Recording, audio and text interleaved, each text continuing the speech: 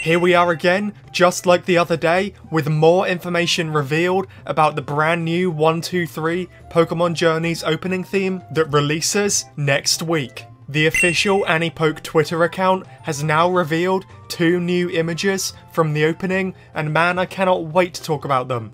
One of the images confirms the return of six travelling companions, and the other teases the return of two very beloved characters. Be sure to like and subscribe if you're excited about this news. We're less than 5,000 subscribers away from 50,000, and that would be an absolute dream. Comment below your thoughts about these amazing character returns. And without further ado, let's get into it. So, first off, this animation frame from the new opening theme was just released. It shows Kiawe, Sophocles, Gladion, Lillie, Mallow, and Lana. That's right, the entire Alola gang are returning in Pokemon Journeys. And this time, Lillie and Gladion are with them, back in their main clothes. So does this mean that Lillie and Gladion have found their father? Or maybe we could even be getting a story arc where Ash, Goh and Chloe help them find their father.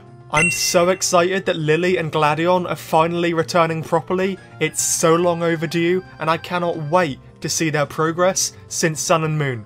And that means that Snowy, aka my lookalike, is returning too. And that is so exciting. And of course, we can't forget about the other Alolan companions too. I cannot wait to see what they've all been up to. I even made a video about Sophocles and Kiawe and how they're going to return to challenge Goh with catching Mew, so be sure to check that video out using the link at the top right of the screen. I'm super proud of that theory.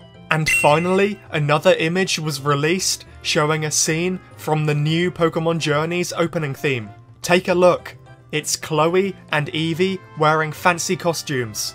Immediately to me, these resemble the outfits that coordinators or performers would wear during contests or showcases. But if you look closer, there's something incredibly exciting about their clothes. Chloe has the exact same collar, hair bow, and earrings as May does in Omega Ruby and Alpha Sapphire. And Chloe's Eevee has the exact same hairpin ribbon as Serena's Eevee had during the X and Y series. Now I don't know about you guys, but that screams to me that Serena and May could be returning. Why would the writers purposely give Chloe and her Eevee May and Serena's exact same outfits when they've never ever ever done anything like that before? All clothing has been unique in the anime for like a decade. So they made the conscious decision to give Chloe the same clothes as Serena and May.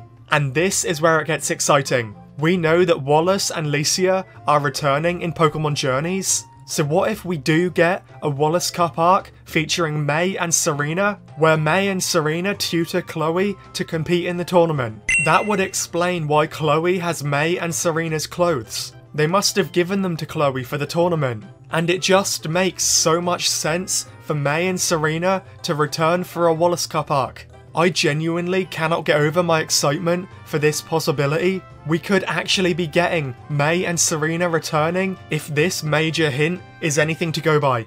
So, those are the only new images released so far. The fact that these images have already confirmed Lisia, Wallace, Clemont, Bonnie, Lillie, Gladion, Mallow, Lana, Sophocles, and Kiawe, and have possibly hinted at Serena and May too, is so beyond exciting. And new images are going to be released every single day until the opening releases next week. Can you imagine if we get every single travelling companion group shown in the new opening? This is the 25th anniversary of the anime, and we've already seen so many characters. This opening could really go all out and show us everything. I am gonna pray for that.